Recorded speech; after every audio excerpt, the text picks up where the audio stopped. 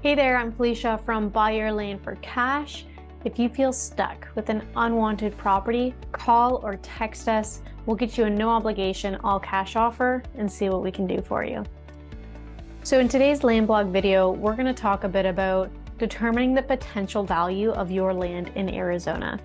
If you've ever tried to accurately pinpoint the value of a piece of land, you know that it can be a really difficult process. There are many different things that impact the value of your land. Income, cost, and recent sales approaches don't usually apply to land the same way they do to residential and commercial properties. The income approach would look at how much income a piece of property can bring in, and this typically isn't applicable when talking about land.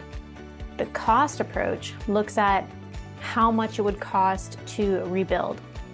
Again, not really applicable here. And to look at the recent sales approach might not be the best either. The land market is very small compared to the housing market. Sometimes lots are sold in bulk, acquired by builders, developers at wholesale prices.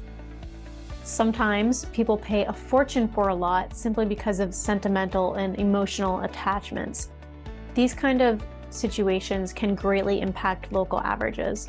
And when you're trying to value your land, you need to look at more factors than just what other lots are selling for. So, what is the current demand like? Take a look at how land is performing in the market. Is it being bought up right away or is it sitting on the MLS for a while? Look at recent sales and how those lots are priced. Are there many lots available or just a few? If there are properties, if there are plenty of properties available, you might want to hold off on trying to sell until there is less on the market. Scarcity will help you drive up the value of your Arizona land. What's the current state? If you're dealing with raw land, the cost to run utilities to it can be really expensive. You will have a better shot at finding buyers when the utilities are already in place. But again, that's not really a cost you want to bear. There should definitely be road access to the property, and you may even consider clearing it to make it ready for potential buyers.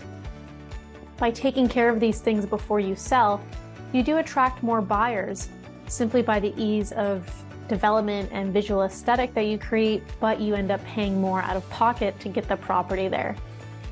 How can you add value? The best way to add value to the land is through development. Get quotes from different developers and home builders to find out how much it would take to add a structure, a cabin, a tiny home to your lot. If you don't want to make that kind of financial commitment, there are still a few things you can do. You can increase the value by removing old dead trees and, and, and brush. You can clear old slabs or rem remnants from old structures. You can take down worn fencing, repair it, repaint the fencing. Make any other improvement that will get the land ready to build. Increasing the visual appeal of the property will also generate more interest and attention when trying to sell your land in Arizona. My team at Buy Your Land for Cash can help. Call or text us 313 307 6737 and we'll get you a no obligation cash offer for your Arizona land. If you enjoyed this video, please give it a thumbs up and don't forget to subscribe to our channel, that way the very first to know when a new video comes out. Thank you so much for watching. I'll talk to you soon.